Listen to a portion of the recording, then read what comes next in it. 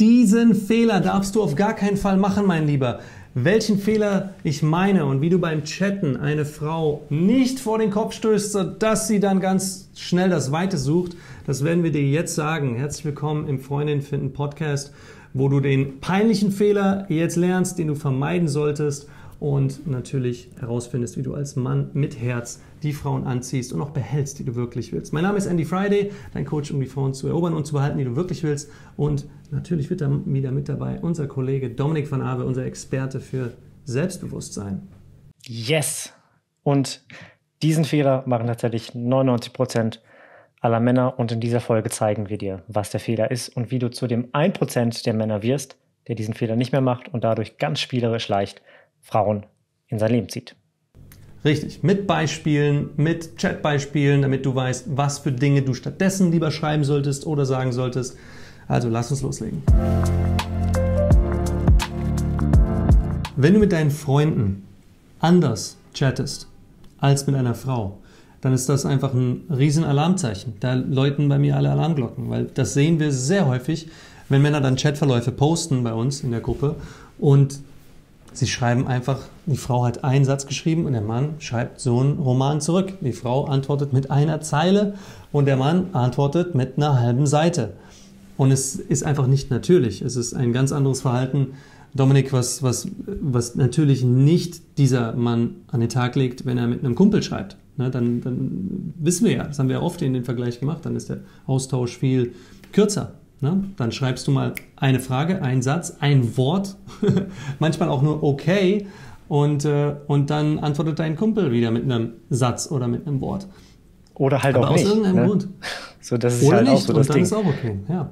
Ja, oder er, oder er antwortet halt nicht und das ist halt auch okay, weil so, so funktioniert halt eine Textkommunikation oder auch wenn wir das im echten Leben haben, wenn ihr auf einer Party seid oder ihr seid irgendwie auf einem, auf einem sozialen Event irgendwo, wo einfach mehrere Menschen sind, dann redest du auch nur mal kurz mit deinem Kumpel, zeigst ihm mal so, guck mal da vorne, die Bar ist offen. Okay, cool, sagt er dann. Und nichts weiter. So, das heißt, bei, ähm, bei deinen Kumpels, bei anderen Menschen und so weiter, ist das Gespräch völlig normal und da findest du auch Worte und Dinge, die du sagen kannst und Themen, über die du sprechen kannst. Aber wenn du mit dieser Frau schreibst und sie dann zum Beispiel anschreibst, nachdem ihr euch dann kennengelernt habt, wir haben das so oft in den Chats ähm, von, den, von den Männern, wenn die, ähm, wenn sie irgendwie jetzt die Nummer oder den Instagram, äh, Instagram bekommen haben von dem Mädel am letzten Abend, dann schreiben sie oft so, hey Sabrina, ähm, wie war die Party? Ich hoffe, du bist noch gut nach Hause gekommen. War ja ganz witzig mit dir. Liebe Grüße, Thomas, was auch immer. Und dann wundern sie sich erstens, okay, hier ist, hier ist der Chat, hier ist mein Anschreiben an sie, so habe ich sie gestern kennengelernt. Warum schreibt sie nicht zurück? Oder auch so, dann kommt so die Antwort von ihr, ja, war gut, danke. Und dann ist die Frage oft, okay, was, was soll ich jetzt sagen? Wie, wie, wie kann ich das Gespräch wieder, ähm, wieder aufgreifen? Und das Problem ist einfach, und da, da greifen wir jetzt eine ganze Menge vor im Prinzip, aber das ist auch nichts Neues für dich, wenn du den Podcast schon länger verfolgst du willst etwas und sie nicht. Und wir glauben dann sehr oft, dass wenn wir halt so viel schreiben, dass wir ihr dann zeigen, signalisieren, dass wir es ernst meinen mit ihr, dass wir, es, dass wir ein guter Junge sind. Und all das führt dann genau eben zu dem nicht, was wir wollen oder was, was wir erreichen wollen, dass sie auch an uns interessiert ist, sondern genau zum Gegenteil. Ja, wenn dieses Sprichwort, das hat einfach eine, eine Validität hier. Wenn du sie wie einen Star behandelst, dann behandelt sie dich wie einen Fan. Okay. Mhm. Das, dieses, dieses sinnbildliche Sprichwort sorgt dafür, dass, dass aber auch eine Gegenreaktion kommt und dass viele Männer dann anfangen, sie wie einen Fan zu behandeln und halt absichtlich in die Gegen Gegenreaktion zu gehen und zu sagen, okay, dann ignoriere ich sie komplett oder ich ignoriere alle Frauen komplett, komplett und, und dann kommen wir in ganz ungesunde äh, Sphären. Nein, was das bedeutet, ist, wenn du mit jemandem auf Augenhöhe kommunizieren willst, also wenn du eine Partnerin haben möchtest, mit der du auf Augenhöhe kommunizierst, wo keiner dem anderen hinterher rennt, wo keiner irgendwie den Clown spielen muss, keiner das Äffchen sein muss, dann musst du dich von Anfang an auch so präsentieren als derjenige, der das erwartet, der eine Konversation auf Augenhöhe erwartet. Und wenn deine allererste Nachricht ja, Doomsday-Szenario, wenn die allererste Nachricht schon zeigt, ich bin bereit, die gesamte Arbeit dieser Konversation auf mich zu nehmen. Ich werde jetzt hier sieben Sätze schreiben, damit du siehst, dass ich mir Mühe gebe, damit ich hier in Vorleistung gehe und ich mir ganz, ganz, ganz viel Mühe gebe. Wie du gesagt hast, guck mal, ich bin ein guter Junge. Mhm. Dann wird sie nicht dieselbe Mühe geben müssen, weil sie sieht, er macht sich ja schon die ganze Mühe. Und das ist eine menschliche Reaktion. Es ist nicht nur normal, dass dann ein, dein Gegenüber sich nicht mehr so viel Mühe gibt, es ist sogar eher eine, du darfst es so auch als Schutzhaltung verstehen, weil warum gibt jemand sich denn so viel Mühe? Wir als Menschen, wenn jemand sich außergewöhnlich verhält, dann, hey, das ist eine menschliche Reaktion. Dann haben wir erstmal, dann sind wir erstmal verdutzt. Warum gibt er sich so viel Mühe? Was ist seine Agenda? Was will der von mir? Und dann nehmen wir einen Schritt zurück und nehmen die Beobachtungshaltung ein. Schauen uns das Ganze erstmal von der Weite an. Und deswegen kommt dann so eine einsilbige, einzeilige Antwort. Ja, war ganz gut. Sie wartet quasi ab, hm, mit wem habe ich es denn jetzt zu tun? Und die Strategie, dass du dann derjenige bist, der für den Rest eurer Bekanntschaft immer 100, 110, 120, 200 Prozent geben musst und sie nur 5 Prozent, das lässt sich nicht aufrechterhalten. Das weißt du ja, dann wirst du frustriert. Wie viel besser ist es also, von Anfang an schon zu kommunizieren, hey, wir sind wirklich auf Augenhöhe und das beweise ich, indem ich dich nicht anders behandle wie meinen besten Kumpel. Klar habe ich an dir auch Interesse, romantisches Interesse. Aber das heißt nicht, dass wir, wir denken immer, romantisches Interesse bedeutet, ich muss mir ganz, ganz, ganz viel extra Mühe geben. Das ist nicht dasselbe. Du kannst dir exakt dieselbe Menge an Mühe geben bei einem guten Freund, bei einer Arbeitskollegin, Arbeitskollegen oder bei einer Frau, an der du ein romantisches Interesse hast. Der Unterschied ist dein romantisches Interesse. Das ist der Unterschied. Es ist nicht die Menge an Energie, die du da reinbringst. Und diesen Fehler machen wir, weil wir denken, Interesse verhält sich zu Energieaufwand. Ist nicht so. Ja? Du kannst sogar im Gegenteil mit deutlich weniger Energie viel mehr ihr Interesse wecken. Ja, das, das, wir, wir geben immer einen Tipp, einfach mal für den, für den Anfang, wenn du bisher immer solche Probleme hattest beim Chatten und du ganz viel geschrieben hast und Frauen, die Nachrichten von Frauen werden immer weniger und immer weniger, dann gehen wir einfach mal dass du reinkommst in dieses Gefühl von weniger ist mehr, geben wir oft den Tipp, schreib einfach mal weniger als sie. Egal wie viel von ihr kommt, zwing dich dazu, dass deine Antwort weniger sein wird als ihre. Das ist jetzt keine Grundregel fürs Leben. Ja, das heißt nicht, dass du dann zwanghaft immer gucken musst, oh je, oh je, jetzt hat sie vier Wörter geschrieben, jetzt muss ich mich auf maximal drei Wörter beschränken. Natürlich nicht. Aber für den Anfang, um einfach mal so ein besseres Gefühl zu bekommen, ist das ein durchaus sinnvoller Tipp. Ja? Und es ist immer ganz witzig, wie, wie dann die Männer total frustriert sind, wenn sie sagen, okay, jetzt hat aber die Frau nur ein Wort geschrieben, so okay mhm. oder danke. Was soll ich jetzt machen? Was ist denn kürzer als ein Wort? Ja, was ist kürzer als ein Wort? Es geht. Das ist zum Beispiel ein Buchstabe oder ein Emoji oder gar nichts. Es geht. Ja? Wenn du schon in, in so einem Chatverlauf bist, wo du dir seit Wochen Mühe gibst und ihre Antworten immer kürzer wurden, du, dann kann es aber auch ganz und einfach sein, wenn sie die Chancen hoch. Du, dann ist, dann ist das Kind schon in den Brunnen gefallen. Ne? Deswegen sagen wir, diese Kommunikation, diese, diese Erwartungshaltung, hey, ich begegne dir auf Augenhöhe, die muss von Anfang an einfach da sein. Von Anfang an, dass du dich ganz normal mit ihr beim Schreiben so verhältst wie auch in Person. Da gibt sich keiner mehr Mühe als der andere. Du kannst durchaus dein Interesse zeigen, aber verwechsel das nicht mit, dem, mit der Menge an Energie, die du da reinsteckst. Ja, Dominik? Ja, sie antworten ja auch dann die, die Mädels dann in diesem Fall einfach auch sehr viel später, wenn überhaupt, also auch da mal so drei Tage später. Und da kommt oftmals so eine Frustration von den Männern, die dann auch manchmal so anfangen, Detektiv zu spielen. Und da bist du einfach auch schon als Mensch in den Brunnen gefallen, ähm, das Kind, das in den Brunnen gefallen ist. Wenn du schon Detektiv spielst und ihr virtuell hinterher stalkst, indem du sagst, ähm, ja, aber ich weiß, dass sie online war gestern, aber sie hat mir noch nicht darauf geantwortet. Oh. Was soll denn das? Was soll ich jetzt darüber denken? Ja, ja, ja ganz schlimm, ja. Mhm. Das, das ist halt so Verantwortung abgeben. So, du möchtest etwas von ihr und du bist böse von, äh, auf sie, dass sie das nicht erfüllt, was du von ihr möchtest. Aber es ist ja dein, dein Wollen, dein, dein Druck auf sie, der sie dazu bringt, dass sie, dass sie sich immer mehr von dir verabschiedet. Ja, und einen Schritt immer, zurück macht, ja. Und, und sie ist einfach nur noch freundlich zu dir und ähm, möchte vielleicht sogar irgendwie noch Schaden begrenzen, indem sie dann drei Tage später auf deine, deine Nachricht antwortet. Und du siehst dann das als Problem, dass, dass, sie dann irgendwie unfreundlich ist und, und dass sie doof ist und, und dich gar nicht verdient hat und so weiter. Und dann bist du also sehr trotzig in diesem Moment.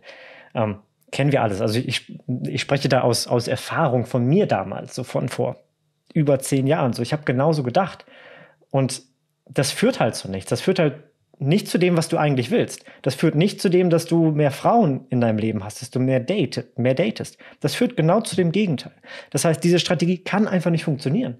Das heißt, dein Denken kann so nicht funktionieren. Was vielleicht viel besser funktioniert, ist zu sehen, okay, vielleicht wollte ich zu viel.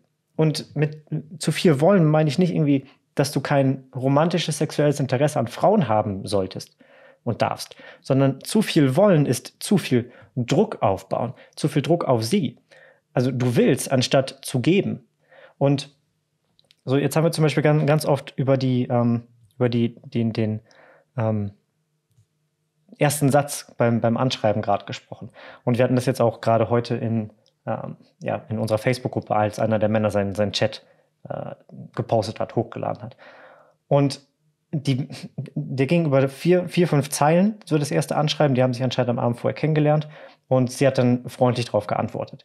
Aber was wäre eine bessere, ein besseres Anschreiben? Das wäre vielleicht einfach so, so es ging darum, irgendwie in, in dem, in dem aus dem Kontext heraus, die haben sich am Abend vorher kennengelernt und er, er wollte ihr schreiben, wie war's?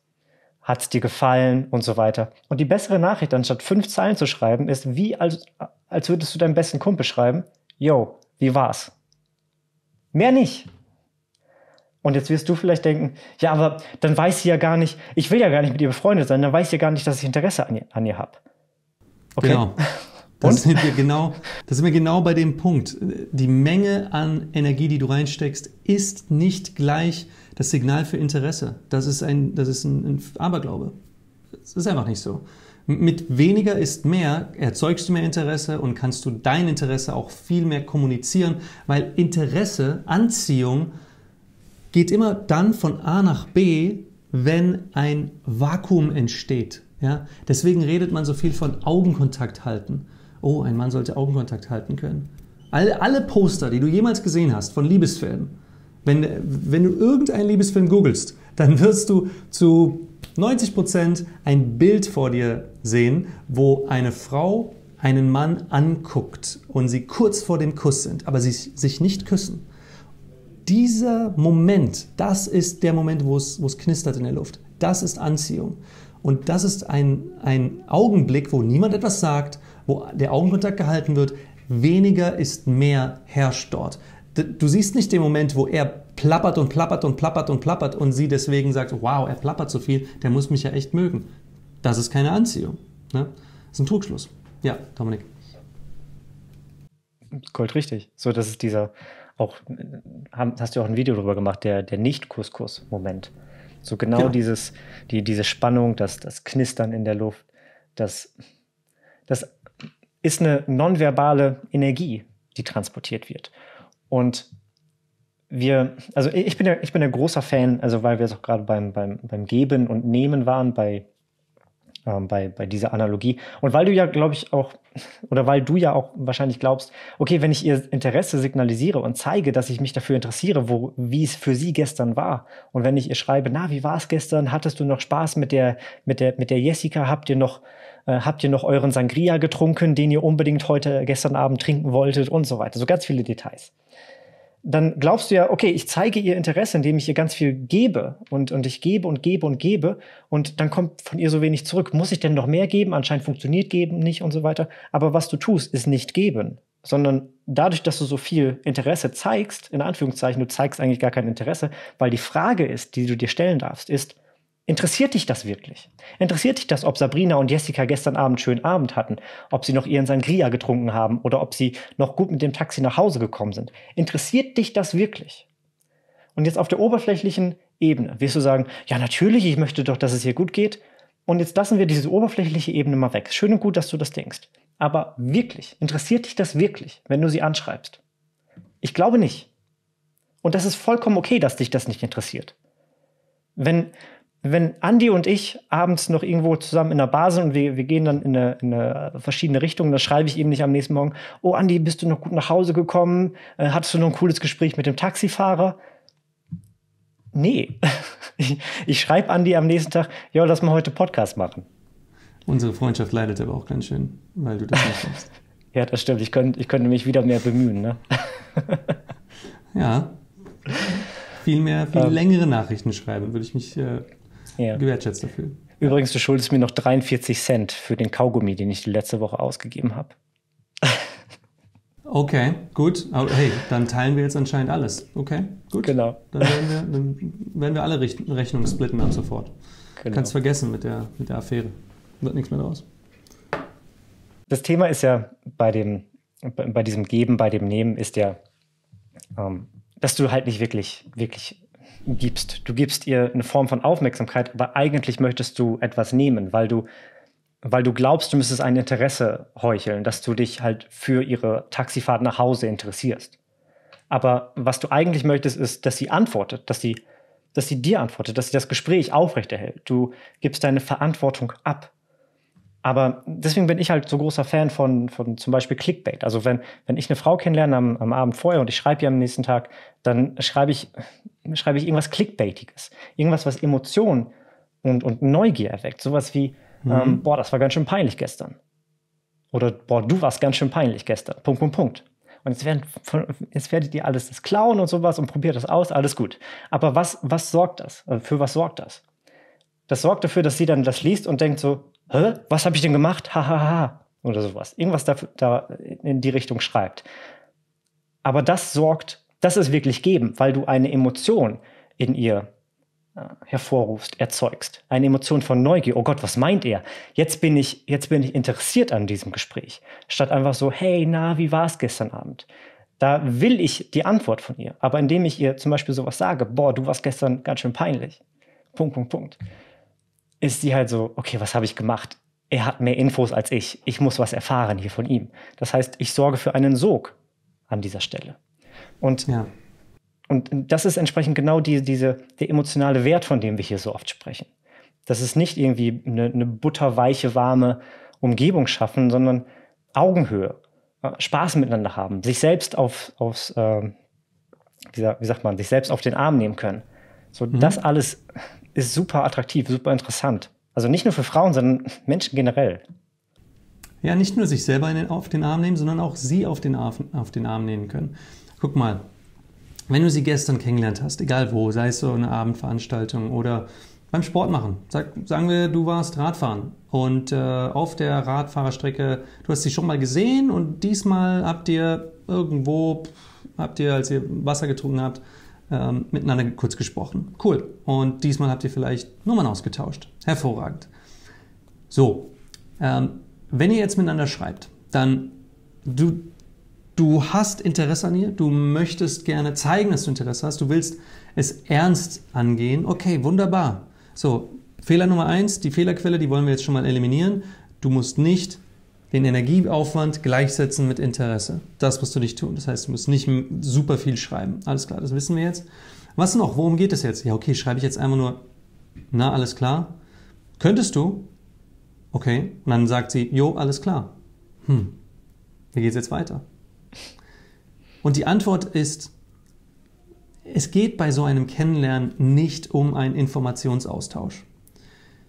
Dieser Informationsaustausch hat nur einen Zweck und das ist das Transportieren von Gefühlen. Du möchtest ja sie fühlen lernen, nicht nur kennenlernen. Im besten Falle wollt ihr beide ja auch eine intime Beziehung miteinander entwickeln, das heißt miteinander schlafen. Und das sind Gefühle par excellence. Da schlaft ihr miteinander, habt ihr ein ein ganzes Orchester an wunderschönen Gefühlen, während ihr in der Kiste seid. Das ist was unglaublich Schönes. Auf dem Weg zu dieser romantischen Verbindung, zu diesem intimen Moment, Da darf es nicht an Gefühlen fehlen. Es ist ein, ein Aufbau von Gefühlen, was zu diesem Orgasmus an Gefühlen führt. Und die meisten haben Angst davor. Die meisten sagen, oh, nee, nee, nee, ich will nicht zu weit vorgreifen, ich will nicht übergriffig sein, ich möchte nicht irgendwie einen Fehler machen und, äh, und den falschen Eindruck erwecken. Also bin ich freundlich. Und dann wunderst du dich, wenn ihr nur Freunde werdet. Ja, finde den Fehler. Das heißt, wir wollen von Anfang an schon eine Sprache an den Tag legen, die diese platonische Freundschaft maximal verhindert, wenn wir das nicht wollen. So, indem wir von Anfang an schon so mit ihr kommunizieren, wie wir ja auch eine Beziehung auf Augenhöhe haben möchten. Und das bedeutet, wir wollen von Anfang an auch Gefühle initiieren. Ja. Was Dominik gerade als Beispiel gebracht hat, ähm, das war ja peinlich. Das ist ein Gefühl. Ja, das nennen wir, das nennen wir emotional wertige Sprache. Weil bei ihr kommt jetzt ein, eine Information an, ein Satz, oh, das war ja peinlich, aber da drin steckt die Implikation eines Gefühls. Oh, peinlich, warum denn? Warum alles peinlich? Es ist aufregend, es ist spannend, es ist interessant. Es gibt noch viel mehr. Du, du, du, du kannst ja das Gespräch mit ihr ähm, auch durchaus wieder auf die informelle Ebene lenken und einfach sie kennenlernen und, und Fragen stellen und sag mal, bist du eigentlich gebürtige Münsterin oder kommst du ursprünglich von woanders her? Klar, kann man das auch fragen, so lernt man sich ja ebenfalls kennen. Aber wenn ihr euch, sagen wir mal, beim Fahrradfahren kennengelernt habt, dann ist es durchaus gut, wenn immer wieder die Gefühle mit rein, wie so, wie so Salz und Pfeffer, das ist Flirten, wie Salz und Pfeffer ab und zu reingestreuselt. Ihr redet über das Fahrradfahren und sagst, hey, sehen wir uns wieder nächsten Freitag äh, ne, auf, der, auf der Piste? Und sagt sie, ja, ich glaube äh, Freitag früh. Perfekt, ich werde dich abhängen, du gewinnst nie gegen mich. Ein bisschen Gefühl mit reingestreut, ja, ein bisschen Herausforderung. Was? Ich werde nicht gegen dich gewinnen, du wirst ja sehen, ich werde viel schneller an der oberen Amsel sein oder was weiß ich, wie der nächste Fluss da oben heißt. Ähm, und dann kannst du sagen, werden wir sehen oder niemals, Madame. Gefühle sind der Vorschritt zur Intimität. Und wenn du keine emotionale Sprache beherrschst, also flirten, dann wird es äh, um ein viel, viel, viel, vielfaches schwieriger sein, mit ihr zu so einem intimen Punkt zu gelangen. Ja, weil du hast einfach sie unter falsche, falsche Erwartungen gestellt die ganze Zeit. Sie denkt dann, okay, wir sind einfach nur Freunde, einfach nur Bekannte. Ja, es ist nicht ihre Schuld, dass sie das denkt. Das ist die Sprache, die du gesprochen hast. Und deswegen dürfen wir von Anfang an flirten, von Anfang an auch schon einen, einen, einen flirtigen Vibe, wie man im Englischen sagt, an den Tag legen und Emotionen rüberbringen. Ja? Die, die, die Frage auch, die hast du vorhin aufgebracht, Dominik, äh, die fand ich interessant, ist dieses, ich, ich möchte ja hier etwas geben. Und wir sprechen ja ständig davon, ein Geber zu sein, ne? gute Gefühle geben zu wollen. Ähm, ein Mann, der Frauen ein Geschenk sein will, der wird von Frauen geliebt. Alles wahr. Aber wir sprechen auch von emotionaler Unabhängigkeit. Und zu geben und gleichzeitig dann aber auch eine Reaktion zu wollen, sprich, ich schreibe einen halben Monolog ich schreibe einen, einen Liebes, Liebesbrief im Grunde genommen, ganz, ganz, ganz viel Text. Na, hey, wie war es gestern? Äh, habt ihr noch äh, dies und das gefunden? Ich hoffe, sie ist gut angekommen, bla, bla, bla, bla, bla, bla. Sondern habe ich ganz viel gegeben, aber was hast du denn getan? Du hast nicht gegeben, um zu geben. Das war nicht emotional unabhängig. Du hast eine Reaktion erwartet. Du wolltest, dass sie darauf genauso viel antwortet. Wahrscheinlich auch noch wegen dem Trugschluss, wenn sie dann so viel antwortet, hat sie ebenfalls Interesse an mir. Weil nur Menschen, die extrem lange Liebesbriefe schreiben, und Romane lieben einander. Das ist nicht wahr. So, die Erwartungshaltung sorgt dafür, dass sie Abstand nimmt. Es ist die emotionale Abhängigkeit, vor der sie Abstand nehmen muss. Ja, das, das ist weder angenehm noch attraktiv. Was ist aber wirklich ein Geschenk? Ein Geschenk ist, jetzt haben wir das schon geklärt, durchaus, weniger ist mehr. Und sind denn Fragen immer ein Geschenk? wenn ich immer frage, wie war es denn gestern, dann erwarte ich ja von ihr mehr als nur einen Satz. Weil wenn ich frage, wie war es, das ist ein mhm. Satz, ja, okay, wie war es? Aber ich erwarte von ihr gut. eine Erklärung, eine, eine Geschichte. Oder ja, wenn sie einfach nur gut schreibt, hm, dann bin ich wieder am selben Punkt. Mhm. Mist. Ich habe den Ball nicht ins Rollen bekommen. Das heißt, ich erwarte von ihr, dass sie sich mehr Mühe gibt als ich wenn ich Vivas schreibe? Auch nicht unbedingt auf Augenhöhe. Ne? Ich, ich, ich sage nicht, dass wir jetzt die ganze Zeit gucken sollen, wie viel investiere ich, wie viel investiert sie. Wobei das am Anfang wahrscheinlich passieren wird, dass du ein bisschen, dass du so eine kleine paranoide Phase entwickeln wirst. Hatte ich, ich weiß, dass ich das auf jeden Fall hatte. ähm, aber sich einfach nur bewusst zu machen, bin ich denn jemand, der hier gerade wirklich gibt oder erwarte ich einfach nur auf ganze Länge? Weil wenn du wirklich gibst, dann gibst du Emotionen. Und das ist der Punkt. Weil du kannst fragen, na, wie war's? Und das ist wenig und dann erwartest du etwas zurück von ihr. Oder, so, keine Ahnung, äh, wenn ihr euch beim Fahrradfahren äh, kennengelernt habt, dann kannst du fragen, bist du noch hingefallen? Ne? Oder musste der Krankenwagen dich aufsammeln? Dann stellst du ebenfalls eine Frage, aber die ist emotional wertig. Da steckt ein Flirt schon drin. Und da ist nicht die Erwartungshaltung, hey, gib du dir bitte alle Mühe auf der Welt, weil ich bin faul oder ich weiß nicht, wie man flirtet. Aber da ist auch nicht dieser Riesenmonolog, wo du dir die ganze Mühe gibst und sie sich dann keine Mühe mehr geben muss. Es ist mehr ein Austausch von Emotionen. Es ist auf Augenhöhe. Weil du bringst einen Witz, da, sind, da stecken Emotionen drin, da hast du dir ein bisschen was überlegt. Cool. Und sie kann darauf antworten, entweder indem sie zurückflirtet oder indem sie, nicht alle können so gut flirten. Das heißt, dann kommt auch öfters von einer Frau einfach so, was? Nein, nein, nein, nee, mir geht's gut, ich bin noch heile nach Hause gekommen, haha. Wunderbar, ist auch schön. Dann hat sie sich ebenfalls Mühe gegeben, wusste zwar nicht, wie sie flirtig darauf antworten soll, aber das muss sie auch nicht. Die Männer bei uns in der Flirt Masterclass, die fangen nach einer kurzen Weile schon an, so gut mit Frauen zu flirten, dass nicht alle Frauen mithalten können. Und ich warne da immer davor, weil ja. Das ist auch nicht das Ziel, dass die ganze Welt die ganze Zeit diesen hohen Anspruch an Flirten aufrechterhalten kann. Es ist toll, wenn du zu einem Flirtmeister wirst. Das ist eine unglaublich krasse Fähigkeit, mit der du dein Leben lang wie Fahrradfahren was niemals vergessen wirst. Das ist sehr wertvoll. Aber erwarte nicht, dass alle auf der Welt und alle Frauen so gut flirten können. Das Tolle ist, wenn du das kannst, dann kannst du den Level einfach immer anpassen, so wie es gerade nötig ist. Wenn sie ein bisschen schüchterner ist, da brauchst du auch nicht so aggressiv zu flirten. Dann reicht es ein bisschen, wie gesagt, Prise Salz, Prise, Prise Pfeffer und dann ist das Gericht perfekt.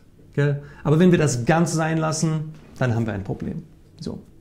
Ja, es ist, es ist unglaublich, wie schlecht tatsächlich im deutschsprachigen Raum tatsächlich geflirtet wird.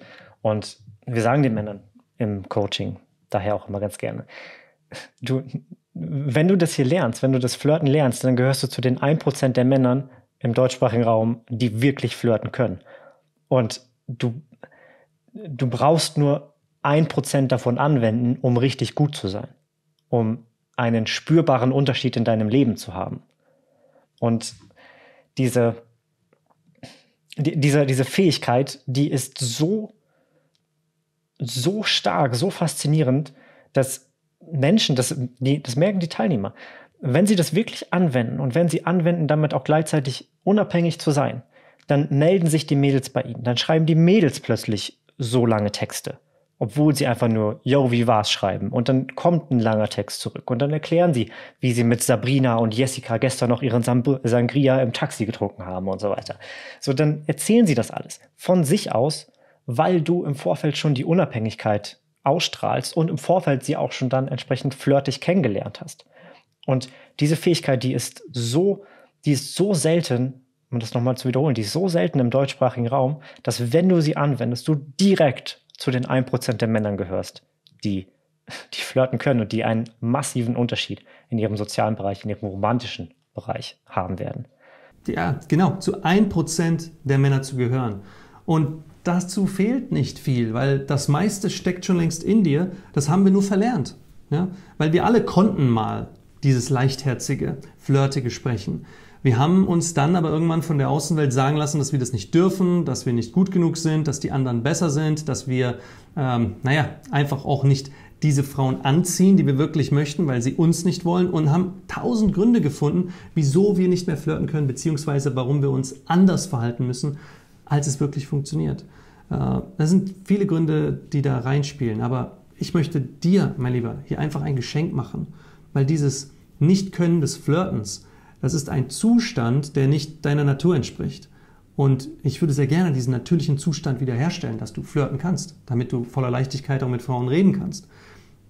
Damit du das kannst, solltest du aber auch wissen, hey, wie flirte ich denn? Was ist denn mein Flirt-Typ? Wie kann ich denn mit Frauen so kommunizieren, dass ich mich nicht verstelle, dass sie mich so wahrnimmt, wie ich wirklich bin und wie ich mich auch fühle? Und das ist dein Flirt-Typ. Das bedeutet, was wir machen, ist, wir ermöglichen euch, wir ermöglichen dir eine kostenlose Flirt-Typ- und Charisma-Analyse. Das heißt, ein Gespräch, in dem wir uns ein, zwei Stunden mit dir hinsetzen und einmal ganz genau deine Vergangenheit, deine aktuelle Situation, deine Ist-Situation und auch deine Ziele anschauen, damit wir ein gutes Bild davon haben und die blinden Flecken ebenfalls erkennen, die du vielleicht noch nicht gesehen hast, was du gut kannst und was du noch nicht gut kannst, beziehungsweise womit du jetzt schon bei Frauen punktest, aber was dir noch gar nicht bewusst ist. Und das schauen wir uns an, geben dir dort dein Charisma-Potenzial und geben dir deinen Flirt-Typ mit. Und dann wirst du erfahren, wie du in den nächsten 10, 20 Wochen zu dem Mann und zu den Erfahrungen gelangst, die du dir immer gewünscht hast. Ja? Diesen Leitfaden gebe ich dir sehr gerne mit. Das ist eine kostenlose Analyse, kostenloses Gespräch. Diese kostenlose Flirt-Typ und Charisma-Analyse findest du, wenn du auf www.flirtanalyse.de gehst. Und dann schau dir einfach das Video auf dieser Seite an. Das erklärt dir diesen kompletten Prozess. Du erfährst, wie diese Charisma-Analyse abläuft und dann wirst du glücklicher. So. Und jetzt wollen wir uns natürlich auch noch den Grund für das ganze Problem anschauen. Denn wie so oft liegt das an einem Begriff, den wir auch schon öfters thematisiert haben und der die Wurzel dieses Übels ist, warum du dich so verhältst beim Chatten und beim Flirten, beim Sprechen mit Frauen in Person. Es ist der Begriff Selbstwert. Es ist einfach die Wurzel von allem Übel, aber auch von allem Guten im Leben.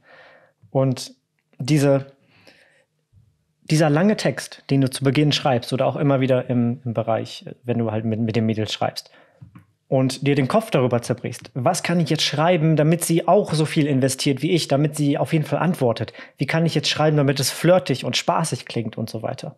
All das ist Denken. Und Denken ist nicht du, du brauchst nicht denken. das ist, das ist mein, meine große Message an dich gerade. Denken in der Kommunikation, in der spaßigen, leichtherzigen, flirtigen Kommunikation mit Frauen oder mit Menschen generell, führt dazu, dass du nicht flirtig bist. Das führt zu mehr Stress. Und Stress ist das Gegenteil von genau dem, was wir brauchen, Leichtigkeit. Aber warum denken wir denn so viel? Warum, warum glauben wir darauf zurückgreifen zu müssen? Weil wir irgendwann gelernt haben, dass wir einfach so wie wir sind, spaßig und leichtherzig als Kind nicht gut genug sind und dass wir unsere Probleme durch Denken lösen müssen. Wir haben eine Matheaufgabe bekommen und haben dann gemerkt, dass wir denken, um die zu lösen und dadurch Aufmerksamkeit und Liebe und Zuneigung und gute Noten und Leistung, gute Leistung bekommen. Und dadurch noch mehr Aufmerksamkeit. Das heißt, wir haben gelernt, unsere Probleme zu zerdenken. Entsprechend die Probleme, die sich nicht mit dem Denken lösen lassen. Mehr zu denken, stärker nachzudenken, einen besseren Satz zu finden, einen besseren Satz zu schreiben. Jetzt bewusst mal kürzer zu schreiben und so weiter. Dich dazu zu zwingen. Führt dazu, dass du halt noch mehr denkst. Du denkst dann noch mehr, das kürzer, weniger zu schreiben. Das funktioniert. Absolut. Das funktioniert aber nur, und auch den Satz, den ich am Anfang gegeben habe, zum äh, dieser Clickbait, diese Clickbait-Gesprächseröffnung. Das funktioniert aber nur dann, wenn du völlig okay damit bist, dass sie nicht antwortet.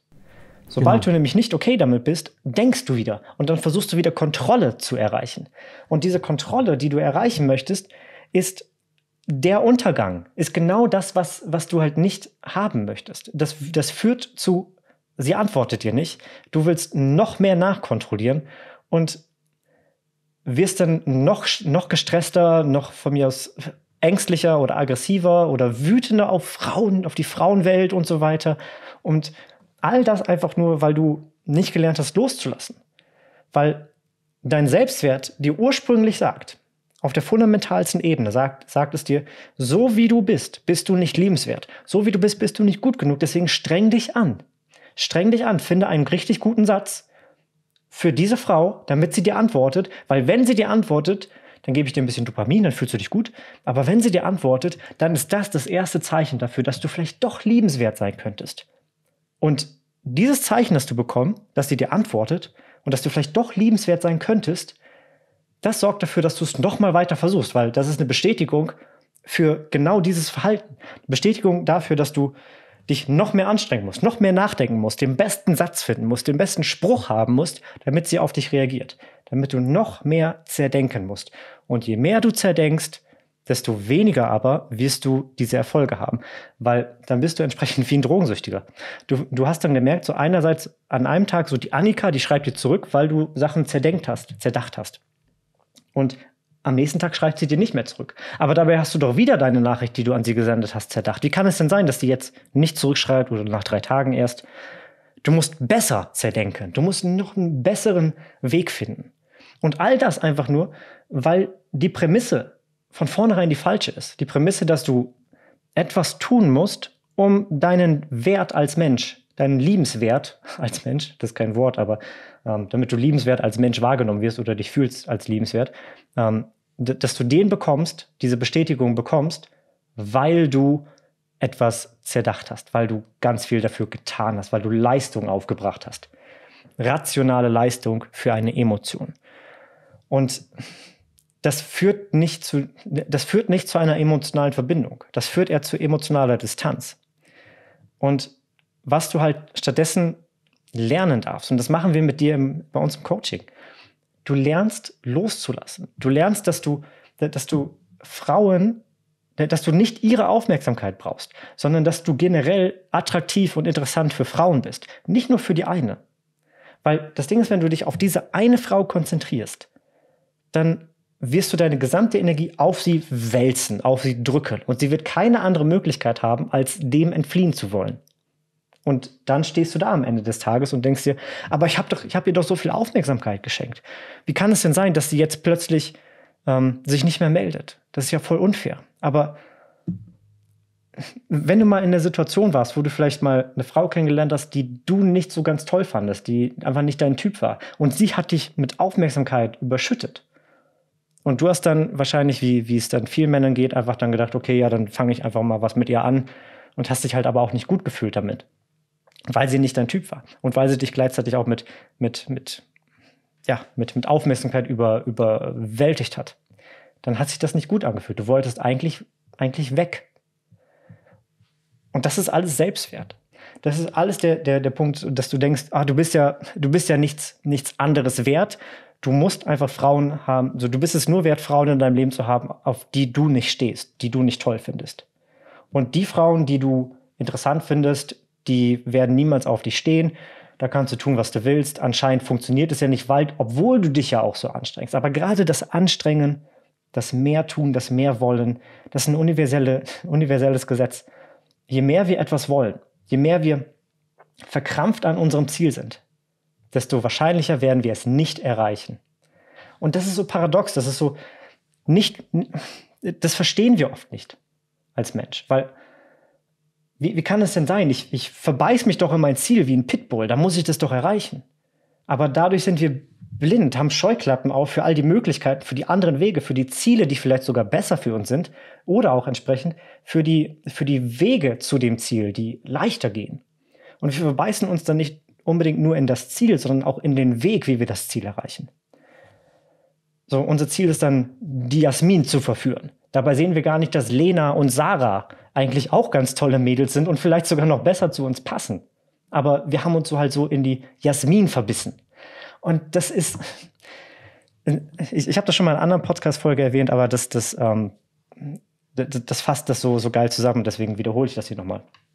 In den 1980er Jahren haben Sportwissenschaftler einige äh, Sportler interviewt, die ähm, die Rekorde gebrochen haben. Und die haben herausgefunden, dass die Sportler die Rekorde dann gebrochen haben, wenn es ihnen egal war, dass sie Rekorde gebrochen haben. Wenn sie aber auf dem Platz erschienen sind, um die Rekorde zu brechen, haben sie in den meisten Fällen den Rekord nicht brechen können. Warum? Weil sie zu viele Muskeln benutzt haben. Sie waren zu angestrengt. Sie wollten das zu sehr. Und wenn wir etwas zu sehr wollen, spannen wir auch körperlich zu viele Muskeln an und das sorgt dafür, dass wir unser Ziel nicht erreichen. Wir sind dann zu rigide. Das ist halt so wie, wie, ein, wie ein trockener Ast. Der trockene Ast bricht. Du musst flexibel sein im Leben. Der flexible Ast, der bricht nicht. Der flexible ja. Ast, der, der, ist, der ist Leben. Trockenheit, Starrheit, ja. ähm, die Festigkeit, so die, die, die, die, wie, wie so ein trockener Stock zu sein. Das ist nicht Leben. Flexibel sein ist Leben. Flexibel sein ist Leichtigkeit. Und das ist Spaß und Freude. Ja, das erinnert mich, also da, mir fällt gerade ein, ein, morbides Beispiel ein, aber es erinnert mich gerade daran, das, das ist die Parallele. Ähm, dass es immer so traurig ist, wenn, wenn ein betrunkener Fahrer ähm, in irgendeinem Autounfall andere mit in den Tod reißt, äh, mhm. beziehungsweise nicht mit in den Tod reißt, sondern ähm, es gibt einen Unfall, dann ist schon erstaunlich, wie häufig der betrunkene Fahrer überlebt, aber die Beifahrer mhm. nicht oder das, die anderen Insassen. Ja, das liegt daran, dass, dass alle anderen äh, noch bei vollem Bewusstsein sind und, und, und dann total verkrampfen, wenn kurz vor dem Auffall, Aufprall und der, der Fahrer ist so betrunken, pff, der bleibt flexibel, besoffen, irgendwie in irgendeiner flachsigen Körperhaltung. Absolut. Ähm, und wie du gesagt hast, das, äh, ja, das, das, das schützt dann. Ist verrückt, ist verrückt. Also es gibt ja auch dazu Lockerheit, um, ja. auch die, die, die Stimmung gerade mal auch zum gleichen Thema eine andere andere Richtung zu ziehen. Auch in, in How I Met Your Mother haben die, äh, haben ja damals das Spiel gespielt, ähm, war ich betrunken oder Kind. Und dann waren das so Geschichten, wie sie sich verletzt haben, weil sie vom Dach gesprungen sind oder sowas. Mhm. Und dann hat die Gruppe dann immer raten müssen, ähm, ob, ob derjenige, der es gerade erzählt, das betrunken, betrunken oder Kind war. Mhm. Und völlig egal, was, was der Outcome davon war, aber Betrunkene und Kinder haben eine Sache gemeinsam. Sie sind locker, sie sind leicht. Und sie ja. spannen halt nicht dann die Muskeln an und sind rigide, sondern sie sind no also neugierig, jetzt die Kinder, aber durch diese Neugier ähm, sind, sind sie flexibel und dadurch auch mhm. entsprechend ähm, mutiger, weniger ja, mut, mutiger, mutiger ja. und, und, und, und dehnbarer. Und vor allem auch so das im, im, im Kickboxen zum Beispiel, was ich damals auf, auf die harte Tour lernen musste, ist, wenn ich, wenn ich mich nicht in den, in den Schlag oder mich nicht dem Schlag gestellt habe, dann hat das unglaublich wehgetan. Dann habe ich immer irgendwelche Verletzungen davon getragen. Aber wenn ich mich in den Schlag gelehnt habe, das heißt flexibel war, das heißt wusste, was auf mich zukommt, dann ähm, also mich entsprechend nicht davor gescheucht habe und entsprechend dadurch Muskeln angespannt habe, die ich nicht brauchte in diesem Moment, sondern präsent war in diesem Moment, hatte ich weniger Verletzungen. So diese die, das Zerdenken, Hilfe, jetzt kommt, jetzt kommt ein Schlag, Hilfe, jetzt kommt ihre Absage, Hilfe, jetzt kommt ihre, ähm, ja, ihre, ihre Abfuhr oder ihre, ihre zu nette Nachricht und was soll ich jetzt darauf antworten und so weiter. All das ist nicht flexibel sein, all das ist extrem rigide und starr sein und versuchen, etwas zu erreichen, auf einem, dich in ein, nicht nur in das Ziel zu verbeißen, sondern auch in den Weg zu verbeißen. Und wenn du den Weg wüsstest, dann wärst du ihn ja schon gegangen und du würdest ja herausfinden, dass nach einiger Zeit, dass dieser Weg nicht funktioniert, wenn du dich nicht da rein verbeißen würdest, sondern wenn du völlig okay damit wärst, herauszufinden, dass die Art und Weise, wie du es jetzt getan hast, nicht funktioniert, dann könntest du ja auch loslassen. Aber weil wir so verstarrt sind, das ist nicht deine Schuld, ja. Das ist halt, das ist eine, eine Funktion unseres Unterbewusstseins, die fußt auf mangelndem Selbstwert. Und wie gesagt, das machen wir im Coaching. Da gehen wir drei Wochen, ach, drei Wochen, drei Monate mit dir im Mindset Call richtig in die Tiefe. Ja. Also das ist, das ist keine Sache, die wir jetzt irgendwie über, über Nacht lösen oder die allein durch Bewusstsein lösbar ist, sondern das sind ja immer, immer kleinere Schritte oder immer kleine Schritte, die, die dir in deinem Alltag auffallen. Beweise dafür, ähm, wo du halt denkst, irgendwie, die, den, die dir vorher nicht aufgefallen sind, ach guck mal, hier ist wieder so ein Beweis dafür, dass ich denke, dass ich das nicht wert bin. Aber unser Selbstwert bestimmt, wo wir in unserem Leben sind. Wenn du nicht den Erfolg bei Frauen hast, den du gerne hättest, egal wie alt du bist, dann schau auf deinen Selbstwert. Schau darauf, welche Glaubenssätze du hast. Schau darauf, was du dir selber einredest, wo du denkst, ich bin nicht gut genug. Und dann hast du den Weg, dann hast du den Fingerzeig. Ist unglaublich, was dann geschehen kann. Ne? Jemand wie der Hanno, der ähm, im Coaching zum ersten Mal in seinem Leben äh, auf eine Frau zugegangen ist. Die haben sich unterhalten, die haben miteinander gelacht, die haben ausgetauscht, wer sie sind, woher sie kommen. Und er hat sich ihre Nummer geholt. Und sie hat sie ihm gegeben. Also etwas, was ihm sein ganzes Leben lang noch nicht geschehen ist, dass er einfach so mit einer fremden mhm. Frau gesprochen hat und dann nach einer Nummer gefragt hat, ist jetzt einfach so normal geworden. Ja, cool. Und sie, sie schreiben sich jetzt. Also sowas darf auch normal sein. Das muss keine Fähigkeit sein, die nur die anderen, die coolen oder wer auch immer ähm, hat. Ja, das ist, es ist auch für dich möglich und für dich viel näher, als du glaubst. So verrückt ist das ja. Deswegen, also ich glaube, glaube ich, tausendmal mehr an dich, als du es zurzeit noch an, an dich tust. Ja, das ist das Irre, weil ich halt immer wieder sehe, was die Männer, die zu uns kommen, wozu die imstande sind, was, zu was sie aufblühen und zu welchen, welchen äh, wirklich starken, mutigen, unabhängigen Männern sie werden, die für Frauen ein Geschenk sind. Das darfst du auch. Das darfst du auch, mein Lieber. Und konträr zu dem, was du gesagt hast, äh, auch ähm, hin, hinzufügend, Dominik, mhm. wenn, wenn wir ähm, nicht verbissen unbedingt auf diese Frau versessen sind, so ich will unbedingt sie erobern, ich, will, ich muss sie erobern, sie, wie, wie kann ich meine Ex zurückgewinnen oder was auch immer. Sondern wenn du einen Schritt zurück machst und locker an die Sache rangehst, genauso kannst du das Selbstbewusstsein grundsätzlich betrachten, was, was ja auch in so vielen verschiedenen nahöstlichen Konzepten zu finden ist, wie, wie ja auch das, worüber in, in letzter Zeit sehr viel gesprochen wird, was Materialisieren angeht. Wenn du etwas materialisieren willst, also dass etwas in dein Leben kommt, ohne scheinbar irgendetwas dafür getan zu haben, weil du dir gewisse Sätze immer wieder sagst oder sowas. Die Kunst des Materialisierens ist ja nichts weiter als eben nicht zu sagen, ich werde, ich werde, ich werde, ich werde, weil das nicht gut funktioniert, sondern ich bin, ich bin schon, ja. ich bin schon. Ne? Was auch immer es ist, das du haben möchtest, du sagst dir, das bin ich schon, das habe ich schon. Wer das hat ist die Lockerheit. Gegeben? Das ist die Entspanntheit. Ja, ich, ich, ich habe ja eh schon. Ich brauche nicht mehr. Also, ich habe eine wundervolle Freundin. Ich habe eine wundervolle Freundin. Oder ich bin, ich bin total attraktiv. Ich bin schon längst total attraktiv. Ich bin total attraktiv. Ich bin mega attraktiv. Wenn du dir diese Wahrheit immer wieder erlaubst, dann kommt sie auch in dein Leben, weil sie entspannt da ist. Sie ist dann schon da und du ziehst das, was du möchtest, viel eher an als wenn du sagst, ich muss unbedingt attraktiver werden. Was sind die Fehler, die ich mache? Ja, ich verstehe natürlich, woher das kommt, dieser Gedanke. Ich mache zurzeit Fehler. Was sind die Fehler? Die möchte ich ausbessern. Klar. Aber was ist denn mit den ganzen Sachen, die du schon längst richtig tust? Hast du einen Blick darauf? Was ist denn mit all dem, wo Frauen jetzt schon sagen, das ist der Grund, warum mir der Martin, das ist der Grund, warum mir der Paul oder der Shia oder wer auch immer gefällt? Das ist dein, dein jetziges Charisma, was schon längst da ist. Und wenn du nicht dir bewusst bist, dass es schon da ist, dann machst du es dir unglaublich schwer, natürlich, äh, weil du hast dann in, in deinen Gedanken überhaupt nichts zu bieten. Weil das, was du machst, machst du falsch und du hast nichts, was jetzt schon gut genug ist. Das ist ja Vollkatastrophe. Nein, ich bin schon attraktiv. Ich bin schon attraktiv. Klar darf ich an mir arbeiten, aber ich bin schon längst attraktiv. Ich bin schon längst gut genug. Sie steht auf mich. Guck mal.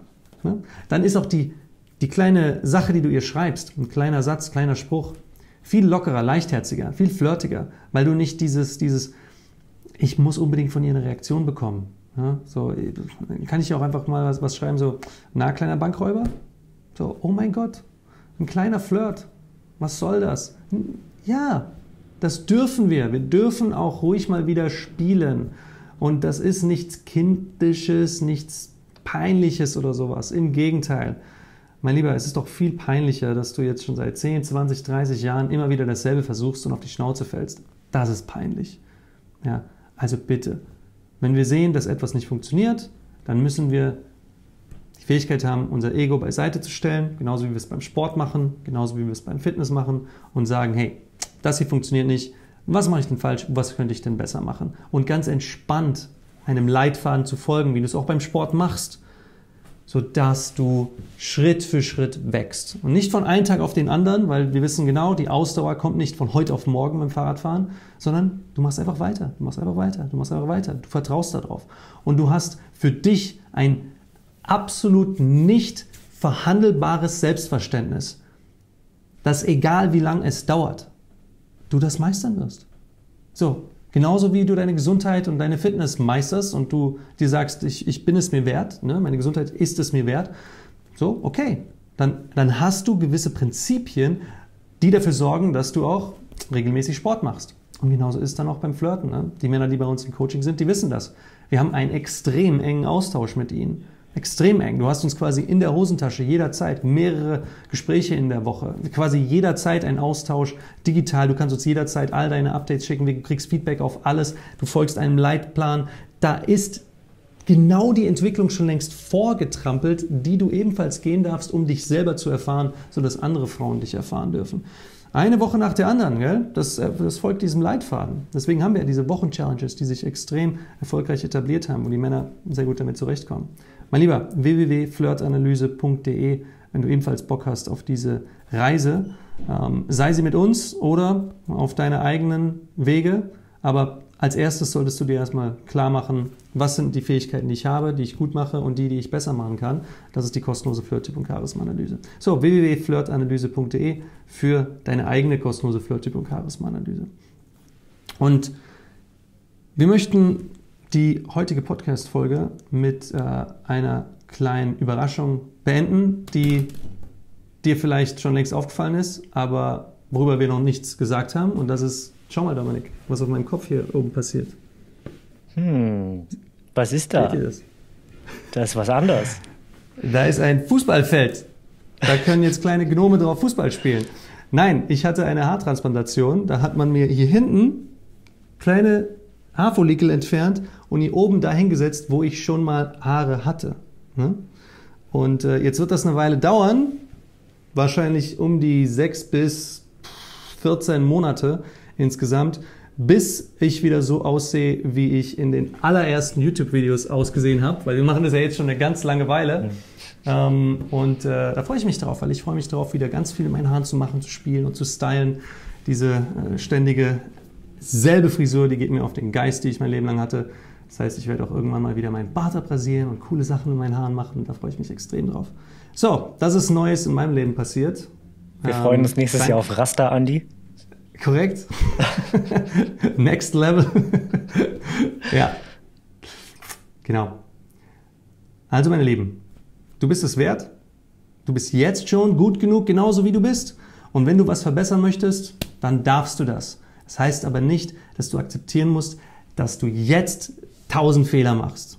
Vielleicht ist die Frau, auf die du stehst, schon längst mit ihrem linken Auge auf dich gerichtet und wartet darauf, dass ihr zwei endlich auf eine andere Weise miteinander kommuniziert. Flirtiger, selbstbewusster, ne? lockerer. Und das kannst du machen, das darfst du machen. Nimm die Tipps dir zu, dir zu Herzen, die du heute gelernt hast. Und auch im Sinne der äh, Fahrtüchtigkeit, weil wir das Thema heute ebenfalls schon mal hatten, bitte, bitte, bitte fahr vorsichtig. Und nüchtern. Ja.